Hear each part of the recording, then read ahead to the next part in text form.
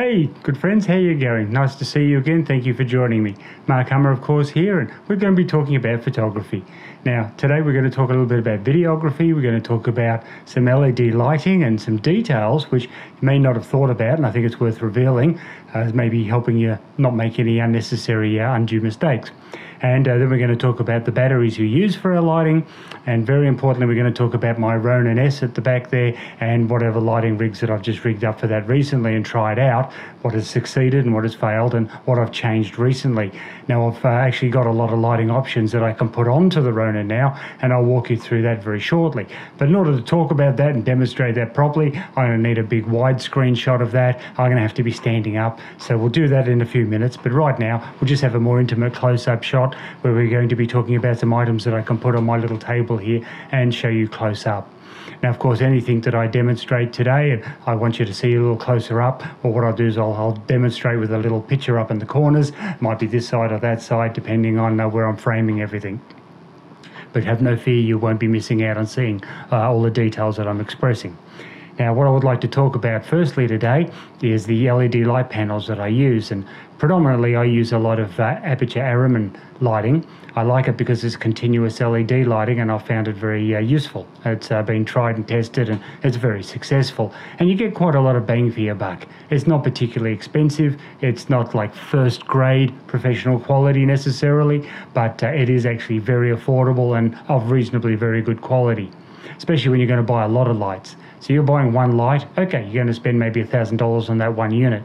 But when you're buying, as I do, I've got about 15 to 16 LED panels alone, and I've got eight uh, flash units. So when you're buying quantities of lighting, you can't afford to spend $1,000 a pop. So you have to be a bit more budget conscious. And I think that's just being fair and reasonable too. So what am I talking about? Well, I'll give you an illustration. Here we have a Aputure Araman LED light panel, and as you can see from the panel, it's rows and rows of little LED beads, as you can see on the front here. So if I just uh, tilt it a little bit, you might get a better perspective of what's going on. And of course, on the back, there you see the little uh, battery pack arrangements they have, and the dials for adjusting your brightness and etc. Now here I have a couple of batteries that are used for these. These are the Sony type NPL batteries. They're uh, usually I use the 970 size, which is the biggest size that they come in. They do have smaller sizes too, which are lightweight and still very functional. But I tend to go with these because they just last so long. So how does these things operate? Well, what you do is you just plug the batteries in, and then you turn it on, and they go. So what am I going to illustrate about this very simple arrangement to you? Well, uh, what I'm going to do here is I'm showing you these items because if you have a look here, you'll notice that they're all in very, very, very straight rows. Okay, so they're packing a lot of light beads into a small area, and that's how they've decided to do it from day one. And that's a fine arrangement, it works beautifully. The only disappointment with this is that when you're operating on video, of course, this is going to react very unfavorably with the sensor because the sensor has also got its pixels in a rows very similar to this. And so if you use this sort of a light at this angle straight into the camera or towards the camera. What you're going to do is you're going to have a situation where the uh, pixels in the camera are picking up these lines and you could get striping or banding in your video image. So to order to avoid that, they provide uh, diffusion panels. Now the diffusion panels provided by Aputure, they're okay, they do protect the beads from damage, but they're simply not diffused enough for my liking. Uh, it's almost non-effective at all. So as a protective panel, they're okay, but for diffusing against any sort of banding or striping issues, they're really not very good.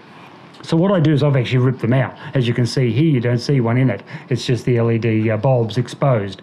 So to fix this potential issue, what I do is I will devise up something for myself and I can illustrate it with these very small lights. Now these are Aputure Araman as well and they have the same configuration of lots of little beads. But what I've done here is I've got some little diffusion panel, the sort of stuff you'll see in ceiling lights. You know, fluoro lights, they have that uh, corrugated sort of a crinkly plastic cover on them. Well, I've got that Perspex cover, and what I've done is I've also sprayed a frosting over it. So you get a spray can of little frosting, sort of like a Christmas frosting they use on windows to decorate uh, seasonally. Well, I just use that spray over the top, and that works as a great diffuser as well. So uh, diffusion spray over the top of that already crinkled Perspex. I put that on instead of the traditional clear plastic that they provide, and it's an awesome diffusion. So look, I can illustrate it in these lights here for you, just to show you that it works anywhere. So here we go, we just put some batteries in. Here we have these Aramin lights. They're quite amazing. You can see the strength of the light that comes out. It's quite uh, bright and strong. So I crank this up fully. It's really intense. So you can see why you would need some diffusion panel on them because they can be so intense. Now you don't have to run them at full power. If I run them down here at about half value, you can still see how this diffusion is, uh, is operating and working for you. And depending on how strong you have them up, they'll give you an illustration of just how much diffusion you're getting. But I found that very valuable. I like very much the fact that uh, these uh, batteries are working. They're very universal. They'll work in these little lights. It's the same batteries that work in uh, these bigger panels as well, and uh, the same batteries will work on this big ring light. So let me just run you through all that, and I'll show you how these different lights all work with the same battery unit and how valuable that is. So when you buy some of these batteries, don't buy one or two. Do what I do. I've got a, a case here of batteries. I may have shown you this before, but I'll just illustrate it again. Where I don't have one or two, I've got four there. I've got several on the other lights, and I've got another like dozen in there, plus my camera batteries. And while we're talking about camera batteries, you may notice here that I have many camera batteries there. There's four just sitting on the bench here. I have one in this camera here, and one in the camera behind me. There's like six batteries just off the top of my head I can find. So when you buy batteries, never be stuck on just buying one. Always buy half a dozen of the batteries when you first set up with your lighting, because the last thing you want to do is run out of battery power or not have them when you need them. Or not they're not charged when you need them immediately. And just be able to pull one another one out of the box that's been charged previously is great. So that's something i'm going to suggest is buying lots of batteries. But let me run you through this uh, big ring light which is uh, based on an Aputure aramin and then outside there is another brand of ring light that i found to be quite useful. Now i have two of these exact rigs two with a big 672 uh, in the middle, and then uh, these ones here of about 480 beads of LED in a ring light configuration. And I'll just run you through what it's all about and why I built it this way. So just let me put the microphone to one side so you'll be able to see clearly on the bench. So here's the unit here. Let me show you from reverse first so you can see what's going on. So as you can see, I've mounted it in such a way that this uh, big ring light fortunately has this lovely little mount on it, which enables me to put the Aputure Aramin on. So that's brilliant, isn't it? And then I've just rigged up on the top little mount another little bracket just to keep it steady and sturdy. But you can see here from this light configuration, that what we have is it has two batteries in the Aputure Aramin, and then we have uh, two batteries here and here for the ring light. So let me just put them in and we'll turn it on and just show you how it all goes. So remember, I it doesn't matter what brand the apparatus is, they're all going to use these Sony batteries for the most part, and I love that. So it's having uh, various different brands of batteries and trying to configure things on the on the fly and remembering which battery goes in which unit. If they're all universal and the same, well, isn't that just brilliant? So there you go, it's turned on for me already. So here we go. I'll just turn this around for you so you can see what's going on. So as you can see here, now this is actually at its uh, lower setting completely. It's uh, on the uh, reading on the dial on the back of the uh, on the back of the ring light. You can might be able to see there. It actually says almost zero or 03, which is right down to next to nothing. On the Aputure Aramin, it's probably reading 10. 10 is actually its lower setting. So that's actually quite a good round and soft light as it is there. Now, of course, you can turn it up as strong as you like. This is 100% on that. And if I turn this one up 100% as well, well, as you can see in this room, it's getting crazy bright, isn't it? Look how bright that is. That's insane. So rarely, of course, am I ever going to use it at its brightest level. You'll notice that it also has the uh, beauty oh, I'll just turn this off because it's getting too bright and annoying. But uh, you can see it has displays here for both uh, the strength and then also the color temperature, which is awesome. So I can change it to a more amber light if I wish that and that's necessary, or I can have it as bright white as I want. Now you can see they got both got diffusion panels on them. So this light actually comes with this nice soft diffusion panel material. This one I've had to make up because Aputure Aramin don't have that as standard. That's very effective. So again, it's that uh, crinkle um, fluoro light cover plastic and then sprayed with the uh, the frosting. Now, just it may not look very beautiful, it might look a bit patchy, but of course that's irrelevant. It's only noticeable when it's off. Once it's on, the brightness of the light uh, overpowers that. But it's really just for its actual practical uh, convenience. Now, how have I got this rigged up? Well, I've got a large steel plate, as you can see here, and the idea of the large steel plate is simply to enable me to be able to put this on a bench or a tabletop uh, or even on a chair if necessary. Now, where is that useful? Well, that's really useful in a function center. So just imagine yourself here that you're videoing someone in a function center and you don't want to light stand around on the floor because light stands are giant trip hazards, isn't it? And if people are getting up and down, uh, maybe it's a presentation or exchanging speakers, a big light stand anywhere near them can be a real disaster. They get out of their table or chair, they walk up to the podium and trip over the light stand. They knock your light flying and they fall over. Well, that's that's a disaster, isn't it? Not only do you look like a nuisance and an idiot, but you've just embarrassed that person as well. So what I encourage people to do is have just this option. I have light stands, of course, and this will just mount straight onto a light stand as well. It's just a matter of undoing this thumb screw and then plonking it onto a light stand. So if I need that for a purpose, that's available. But isn't it great to have these steel plates with a light stand attachment on it so I can just pop that straight on and put it on a bench or a table somewhere and have a safe means of moving the light. Because if you imagine this is like a giant dining table and this is the end of the table, you can put the light here facing the subject that you're filming and it's on the table. It's no worse or a hazard than a pitcher of water or, uh, you know, a large beer or something. No one's going to knock that over any more than they would this. People are careful when it's on the table. And also, this steel plate weighs a ton. You're not going to knock this thing over unless you really smash it. That's really heavy and sturdy. So there's uh, something to think about. If you haven't already organised yourself some steel plates with light stand uh, attachments on, let me just show you that very quickly. Sorry, I hate it when I have to turn away from the camera and the mic. I know that sounds and looks terrible, but I just want to illustrate how that operates. So if I just lift that off, you can see here, there's a little light stand here. You can see here the little mount, and all I have to do is put that on top, a bit of a thumb screwing there, and you're off and running. Only takes a few seconds. So just put this down. There we go. Just make that nice and tight and safe. And of course, I also have the ability to adjust the height angle anywhere I like.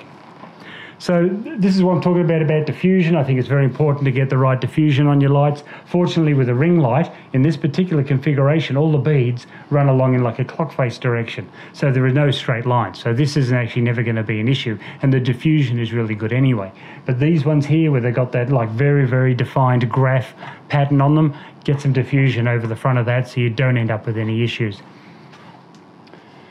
Oh, so the uh, next thing I want to tell you is uh, with something like these, and I did show you these earlier, these are very small lights. They come as two separate little lights, and I've joined them together with a little attachment that they provide, and that gives me the option of having two together. So now, instead of just the 200 beads of LED light, I can now join them together and I end up with 400 beads of LED light. And of course, you can configure them again to the sides here. We can have another two and have 800 LED lights attached. And they're only about $100 a pop, so you can build up your collection in time but I've never found a need for more than two at a time anyway. That's really quite a bright little unit. And when you look at the uh, size of this big 72 and that together, well, it's not that big a deal in difference. It's not much between it. So it's 400 LEDs in this, but they're actually a little bit brighter than the ones in these. I think they're just compact a little bit tighter. And also the ratio of the battery to the LED beads means that these ones just punch out a little bit more brightness. So they're actually a very good value for money. These bigger ones, of course, are excellent because the bigger the light source is, obviously the softer and more diffused it is by nature. So that's also very handy to have the, the bigger light source, which of course is exactly why I have these. Why do I have a ring light in connection with a square rectangular light? Like, what is that all about? It looks a bit odd and confusing, doesn't it?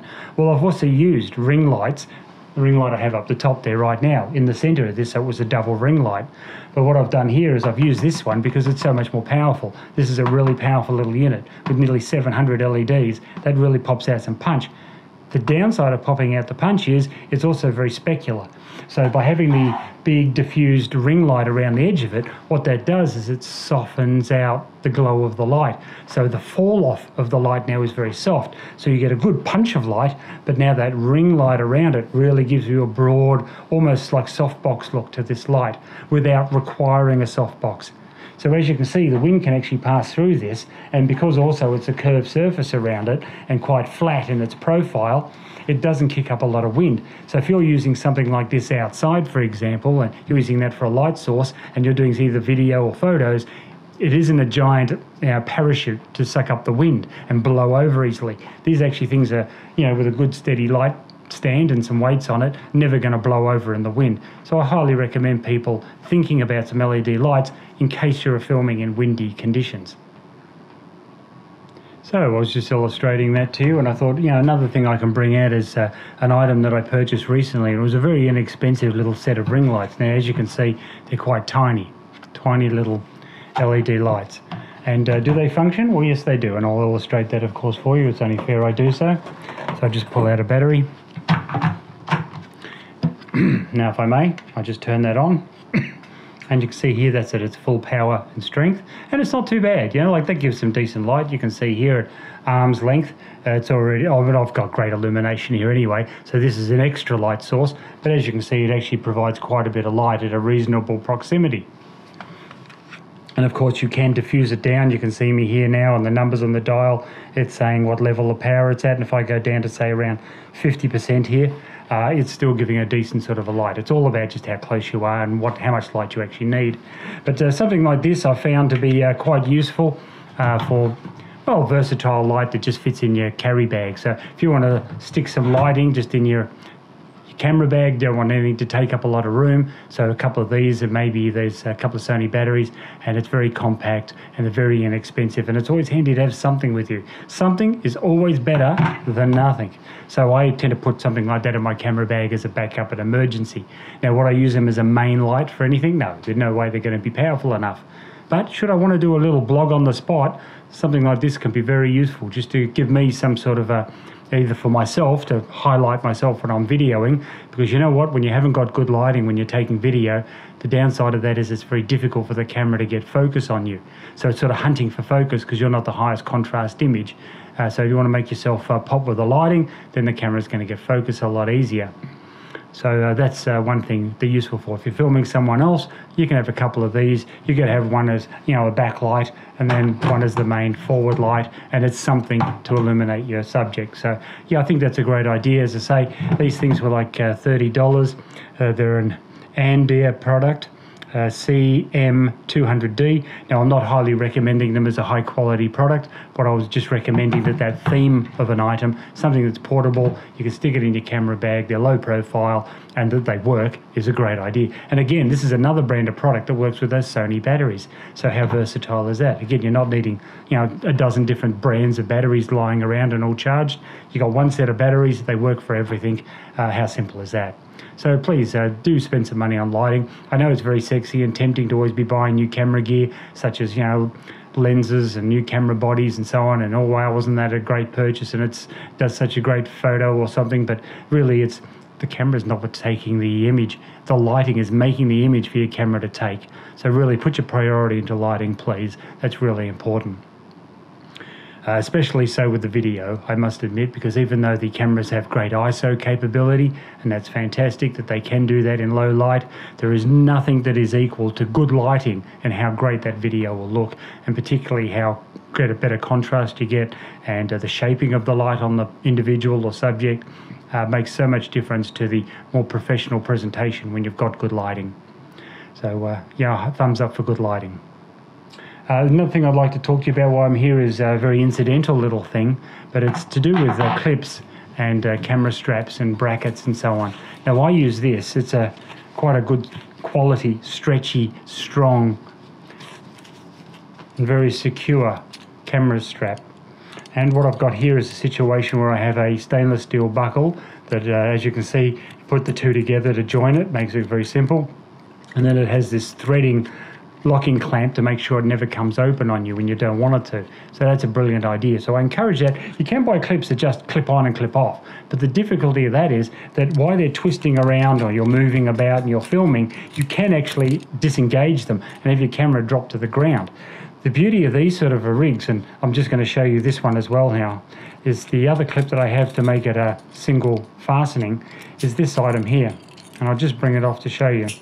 And uh, what happens here is, yes, it's just a clip on and off hook, but you notice it also has a little locking mechanism here. You just spin that on and now it won't come off. You can't open it. So no matter how much you twist or play with that, it's never going to let go. And you know the difference between just a simple clip on and off one and this one with a little safety lock on it to make sure it's secure was about an extra 50 cents. So wouldn't you be mad not to buy that? You're going to spend five thousand dollars on a Ronin and your, you know, mirrorless camera, and you're what? You're going to scrimp fifty cents on a clip and maybe lose it to the ground. Well, you'd have to be crazy. So buy them. They also come in these uh, smaller sizes. This is stainless steel. I don't buy just cheap, nasty metal ones. And again, it has the same configuration where it is just a clip. But then, of course, once it's on, you just flick that around. You don't need any special tools. You don't need pliers with you to make it extra tight. It only needs to be thumb tight. The idea is that it just can't simply knock off and then uh, collapse to the ground. So uh, I use all these sort of rigs to rig up the Ronin when I'm carrying it around so that in case well, your arms get tired, you know. Sometimes you just want to let it go for a sec, rest your arms, give yourself 30 seconds, and then pick up and go. But you don't want to necessarily put it down on the ground. It may not be stable surface. You might be around water or mush or mud, and you don't want to put it into the ground, or you can just let it hang off yourself on these good straps and just rest your arms for a few seconds. But I can tell you, I wouldn't do that unless I had a good, strong safety clip to attach it all. Otherwise, I'd be horrified the thing would just snap to the ground on me. So it seems like a little thing. It's only a few extra cents. Please buy the good stuff. Just spend those extra couple of cents. So the next subject we're going to skip on to now is going to be the Ronin itself and the lighting rig I got there. So what I'm going to do is I'm just going to change my camera angle and if you don't mind I'll do that. Change the perspective, make it a nice big widescreen shot and then I can stand up and I'll run you through that.